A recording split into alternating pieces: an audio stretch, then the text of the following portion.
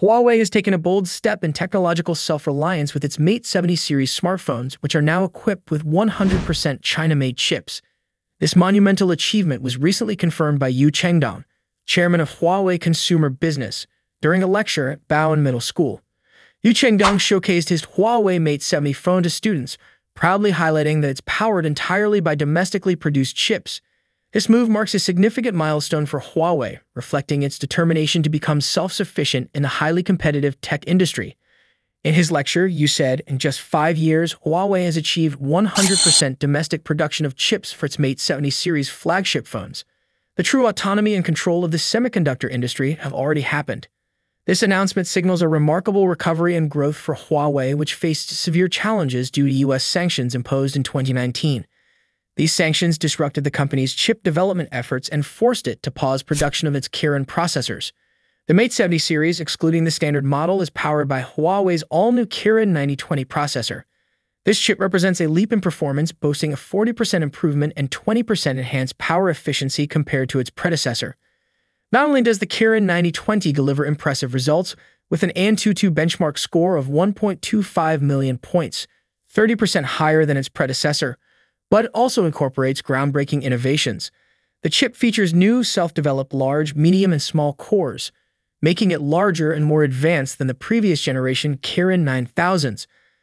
One standout feature is the 5GA satellite communication module, an industry-first technology that further strengthens Huawei's leadership in innovation. Huawei hasn't stopped at just upgrading the CPU.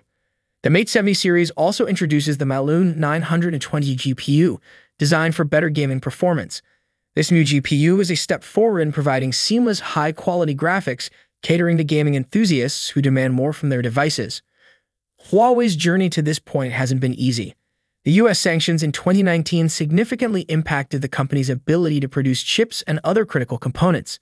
However, Huawei's resilience has been evident as it reignited its chip development efforts with the Mate 60 series and has now set new standards with the Mate 70 series. The Mate 70 isn't just a phone, it's a testament to Huawei's commitment to innovation and independence. By using entirely China-made chips, Huawei is eliminating its reliance on foreign suppliers, particularly from the US for key components. The Huawei Mate 70 series is more than just a smartphone. It's a symbol of perseverance, innovation, and independence. With its 100% China-made chips, Huawei is proving that it can thrive without external dependencies, pushing the boundaries of what's possible in the tech world. As Huawei continues on its path to full self-reliance, it's clear that the company is setting a powerful example for others to follow. The Mate 70 series isn't just a phone, it's a statement. Stay tuned for more updates on Huawei's journey and the exciting advancements in tech innovation. Don't forget to like, share, and subscribe for the latest insights. See you in the next video.